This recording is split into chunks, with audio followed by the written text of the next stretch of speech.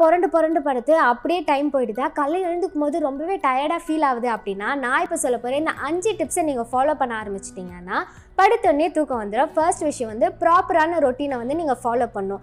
கொஞ்சம் ஏர்லியராக தூங்க போகணும். அதாவது நைட்டு டெய்லி நீங்கள் ஒம்பது மணிக்கு தூங்க போயிட்டீங்க அப்படின்னா அது ரொட்டீனாக சேஞ்ச் ஆகிடும் ஸோ ஒம்பது மணி ஆனால் டான்னு உங்களுக்கு தூக்கம் வந்துடும் ரெண்டாவதாக வந்து பிக் நோட்டு ஆல்கஹால் அதுக்கப்புறம் ஜங்க் ஃபுட் ஜங்க் ஃபுட் ஆல்கஹால்லாம் கன்சியூம் பண்ணும்போது அது சம்டைம்ஸ் உங்களை எனர்ஜி ஆக்கிடும். ஸோ நீங்கள் ரொம்ப ஆக்டிவாக இருந்தீங்கன்னா தூக்கம் வரத்துக்கு ரொம்பவே லேட் ஆகும். அதே மாதிரி வந்து சுகர் கண்டென்ட்லாம் ரொம்ப அதிகமாக எடுத்துக்கிட்டீங்க அப்படின்னா வந்து நீங்கள் ரொம்ப ஆக்டிவாக இருப்பீங்க. ஸோ தூக்கம் வராது. மூணாவதாக வந்து பிக் நோட்டு ஃபோனு டிவி அதுக்கப்புறமா வந்து லேப்டாப் இதெல்லாம் வந்து ஒரு ஓரமாக வச்சுட்டு நீங்கள் தூங்கிட்டீங்க அப்படின்னா அந்த லைட் வந்து உங்கள் பிரெயினை வந்து ஆக்டிவ் ஆக்காது.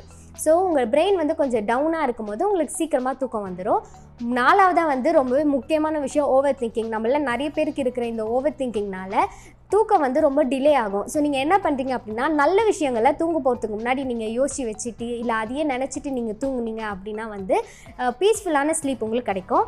அஞ்சாவதாக என்னென்னா வந்து புக் படிக்க ஆரம்பிங்க. நல்ல புக்ஸ் படிக்க ஆரம்பிச்சிங்கன்னா நல்ல எண்ணங்கள் வர்றதுனால நீங்கள் நல்லா பீஸ்ஃபுல்லாக தூங்க முடியும். சில பேருக்கு வந்து புக் எடுத்தாலே தூக்கம் வருது அப்படின்னு சொல்லுவாங்களே ஸோ இதையெல்லாம் நீங்கள் ட்ரை பண்ணி பாருங்கள்